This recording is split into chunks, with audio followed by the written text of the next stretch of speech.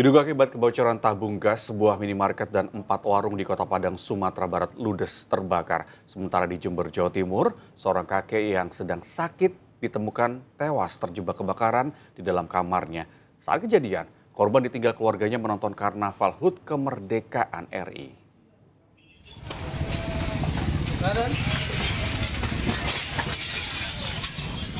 Kobaran api dengan cepat melalap sebuah minimarket dan empat warung di kawasan Pasar Tabing, Kecamatan Koto Tangah, Kota Padang pada minggu sore.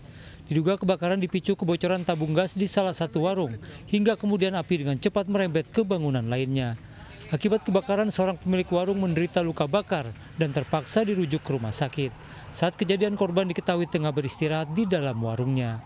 Jadi di sana ada empat apa empat kios, jadi satu bangunan ruko di lokasi. Kabarnya ada yang luka bakar, Pak. Ya, memang ada luka bakar dia uh, keterang warga masyarakat itu ada dia sedang tidur di lapak dia um, jualan. Jadi dia itu dilarikan ke rumah sakit. Jadi dalam keadaan lari itu dia uh, masih sadar. Sadar. Sementara itu seorang kakek ditemukan tewas setelah terjebak kebakaran di dalam rumahnya di desa Semboro Lor, Kecamatan Semboro, Kabupaten Jember. Jasad korban yang berusia 70 tahun ditemukan di dalam kamar usai api berhasil dipadamkan.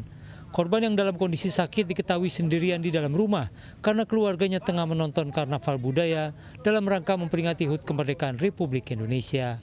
Kebakaran kan saya tidak tahu, artinya ya tahu-tahu saya ada api di atap. Terus Langsung pintu saya dobrak. di dalam ada orangnya. Di dalam ada orangnya tapi belum meninggal. Terus saya tarik tidak bisa, saya kena genteng di sini sama kayu. Saya langsung mundur.